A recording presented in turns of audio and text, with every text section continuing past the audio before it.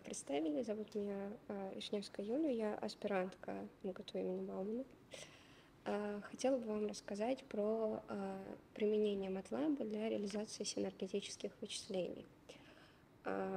Собственно, в современном мире очень сейчас популярна задача распознавания образов, задача классификации.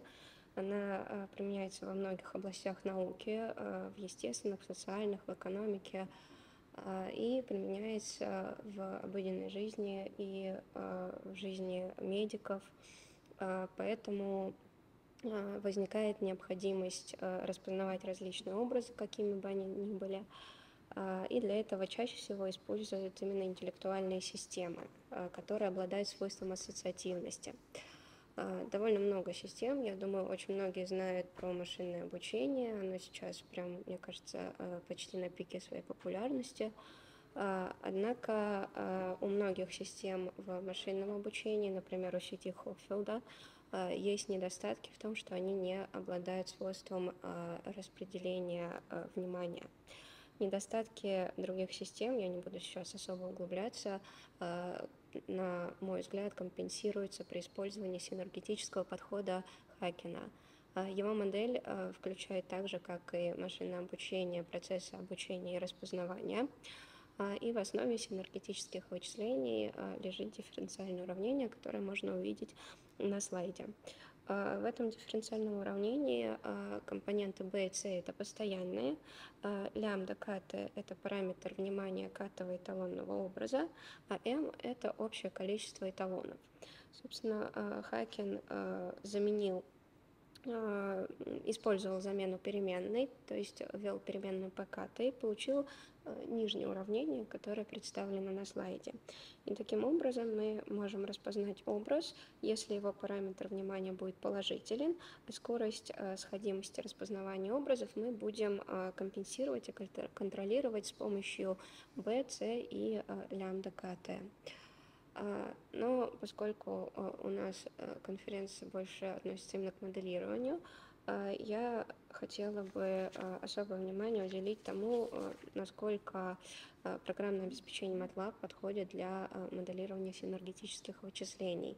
Мы сейчас рассмотрим общий процесс синергетических вычислений на примере количества эталонных векторов равным 3. То есть m у нас будет равно 3. И э, я приведу выкладки из э, MATLAB, э, именно такого базового, то есть без симулинка, э, даже э, обычные математические функции MATLAB позволяют нам э, использовать без каких-либо дополнительных установок э, и решать э, задачи по распознаванию образов. А, собственно, а, алгоритм распознавания разделяется в основном на две такие глобальные части. Это а, предварительное вычисление и решение динамического уравнения на предыдущем слайде. Исходной информацией является набор векторов прототипов, и при помощи этих векторов у нас в процессе первого этапа происходит нормализация и вычисление параметров для дифференциального уравнения.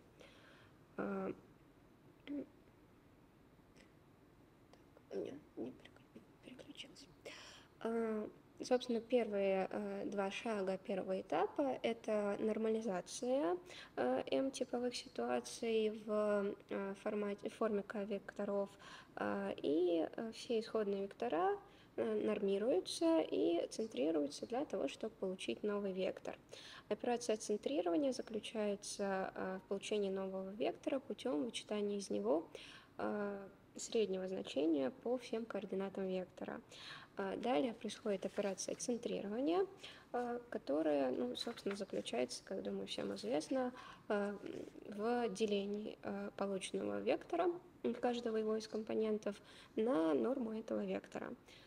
Ниже на слайде в рамке приведен фрагмент вычислений в MATLAB для этого, для одного вектора, да, то есть я не зашиваю пока что в цикл. А, и а, используются довольно базовые операции, то есть операции суммы, операции возведения, а, так, здесь возведения в квадрат нет, операции по элементного деления, операции вычисления квадратного корня и норма вектора. Да, чем удобно, нам не нужно вычислять норму, например, вручную или сумму расписывать вручную, зашивая все это в цикл. В MATLAB все эти а, операции являются встроенными. А, после выполнения этих операций мы получаем новый вектор, а, который должен соответствовать а, ряду проверок. То есть сумма всех компонентов вектора k должна быть равна нулю, это результат центрирования, и длины вектора должны быть равны единице, это результат нормирования. Тоже элементы проверок представлены на слайде. Здесь вот добавляется полиметное возведение во вторую степень из функций. Следующим шагом а, является вычисление сопряженных векторов. Это самая а, длинная и затратная а, для машины операция, поскольку у нас может быть большое количество n, то есть количество элементов в векторе, и количество самих векторов m также может быть большим. И сначала у нас вводится матрица, которая является скалярными произведениями, это матрица V, скалярными произведениями векторов прототипов. Даже в случае из трех векторов эта матрица будет очень большой, громоздкой, и посчитать ее вручную или там при помощи каких-то там ручных вычислений именно при помощи машины будет довольно тоже затратно. MATLAB же делает это практически в одну строчку и довольно просто для понимания. Собственно, представлен дальше нахождение обратной матрицы. Э, оператор обратной матрицы э, именно в MATLAB использует э, L у разложения выходной матрицы, но при этом у него есть, я не буду сейчас углубляться, методы обработки матриц в случае, если она вырождается.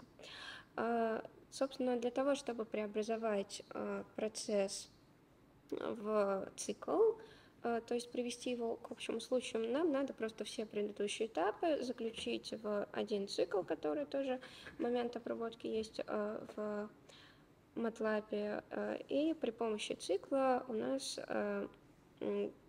программа становится более универсальный программный код. Последним шагом первого этапа является вычисление присоединенных векторов. На слайде написан вариант для трех векторов, то есть чисто три вектора расписано. И после того, как мы вычислили присоединенные вектора, мы находим параметр pkt. Формула его приведена на третьей строчке презентации. После того, как мы получили параметры начальные значения Э, ПКТ мы переходим ко второму этапу синергетических вычислений. Это решение дифференциального уравнения. На слайде э, представлено именно э, использование функции для решения дифференциального уравнения.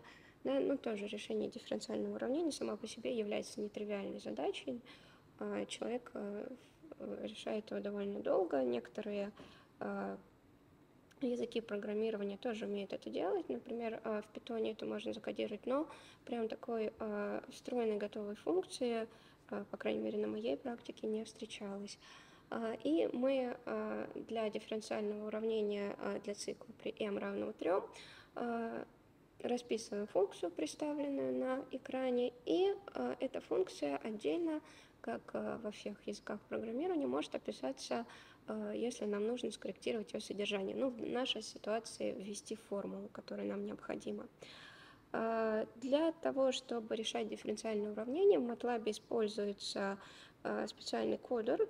В моем случае это ODE 4.5. Собственно, это выбор численного метода решения системы, а 4.5 это Э, использование алгоритма э, Рунгекуты 4-5 порядка. В целом есть довольно большое количество методов, которыми можно решать дифференциальные уравнения. Они все проведены в рабочей документации по MATLAB. Э, и после решения дифференциального уравнения мы уже получаем готовую смоделированную ситуацию и можем делать вывод о том, какой из параметров имеет наибольшее значение и таким образом классифицировать а, нужные нам образы.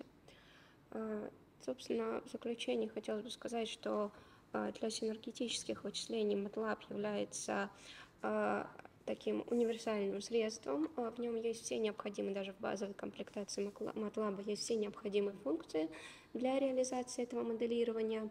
А, И, а, собственно, полученные а, результаты мной в процессе исследований а, показывают возможность эффективного использования MATLAB для а, решения практических задач по распознаванию.